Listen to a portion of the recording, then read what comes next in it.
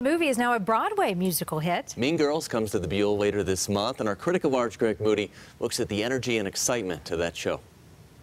This would seem to be getting to be a habit with me, but I walked into Mean Girls not knowing what to expect, and I loved it.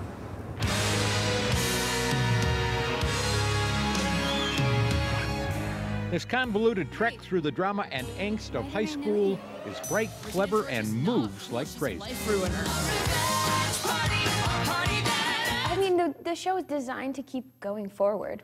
The, the plot is always thickening and changing, so I I mean, it propels forward very quickly, and we are basically running and keeping that momentum the whole time.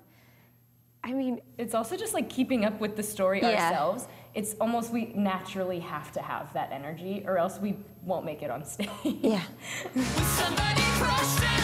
They want me And if the audience doesn't jump on board right away, this cast will pretty much snatch you up and drag you along. thanks.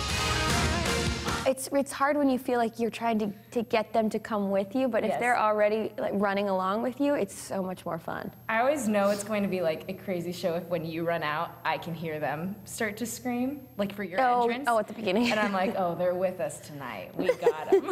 They may play this show eight times a week, but the cast, music, and production make it fun and exciting to be out on the road as Mean Girls.